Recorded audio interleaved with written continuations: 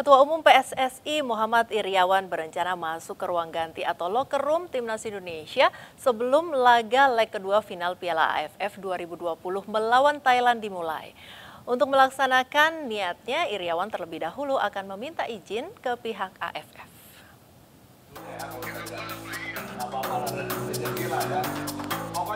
Rencana tersebut disampaikan Ketua Umum PSSI Muhammad Iriawan saat menghubungi dua kapten timnas Garuda, Asnawi Mangkualam dan Evan Dimas Darmono lewat sambungan video call.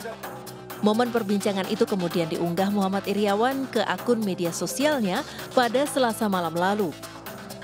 Lewat percakapan itulah diketahui jika Muhammad Iriawan atau yang akrab dipanggil Iwan Bule ini akan terbang ke Singapura pada 31 Desember nanti. Selain menyaksikan langsung pertandingan Indonesia kontra Thailand, Iwan juga akan mendatangi tempat ganti pakaian timnas Indonesia. Untuk melaksanakan niatnya, Ketua Umum PSSI periode 2019 hingga 2023 ini berencana akan minta izin terlebih dahulu ke pihak AFF.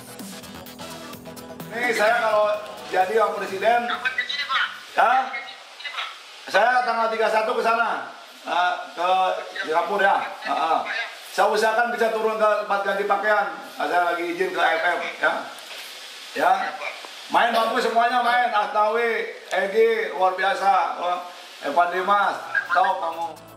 Diketahui untuk masuk ruang ganti pemain saat pertandingan memang tidak bisa sembarangan orang bisa melakukannya. Hal ini bahkan dilarang dan melanggar aturan.